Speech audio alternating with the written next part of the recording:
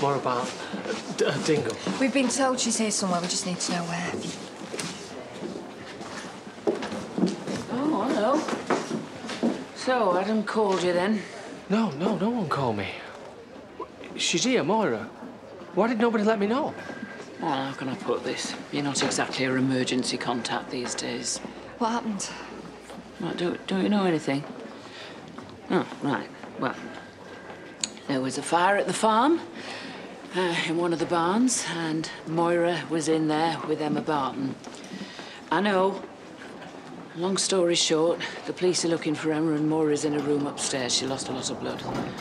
And the doctors are keeping her sedated until she stabilises or something. She lost a lot of blood. How? Well, nothing to do with the fire, or at least not directly. Look, there- there's no way of saying this without it making your head explode. Saying what? Moira was pregnant. Seems no one knew about it, not even Adam. Hmm. It's a boy. And it's Pete's. Where is she? Yeah, well, steady. You know, she's not up and about yet. Right, well, we've got some news and all. Finn's been shot.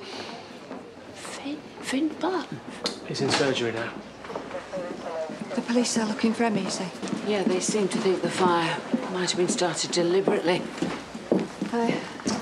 You're looking for Emma Barton, right? Well, we saw her earlier today at the little service station just before you get to Houghton Bypass heading north. I mean, she might be long gone, but it's uh, it might be a start.